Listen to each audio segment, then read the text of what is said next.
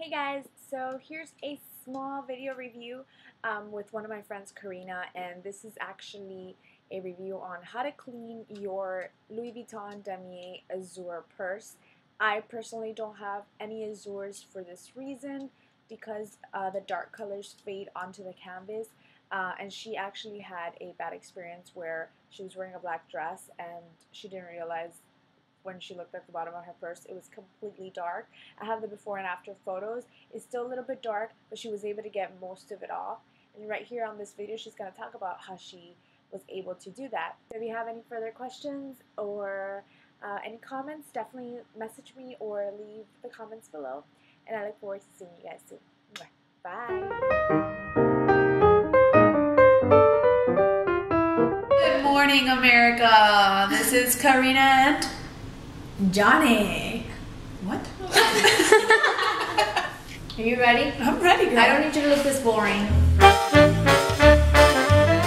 Hey everybody, so I have my friend here, Karina, and as you can see, we both have our Louis Vuitton Neverfull GMs. And because I don't have any Azur, I took advantage that she's here with hers. She's gonna talk about the pros and cons of having this kind of canvas. So Karina, what do you find that you love most about this purse and that you like the least?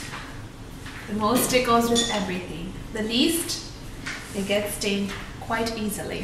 What happened? I know you had told me. uh, I wanted to commit suicide after I paid $800 for this, and it got stained. If you can zoom in a little bit here.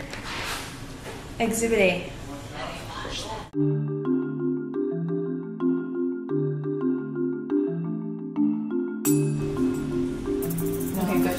So I'm gonna go ahead and post a photo of how it used to be before she cleaned it.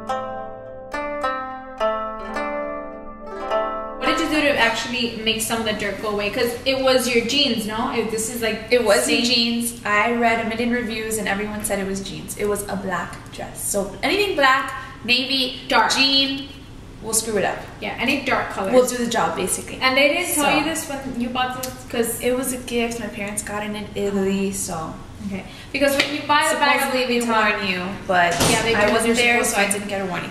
Now, it had never happened to me, and I wore it with jeans a million times. What I did to clean it was I bought Mr. Clean Magic Eraser. now they told me to be super careful with the dark squares because they say that the Mr. Clean will take away those too.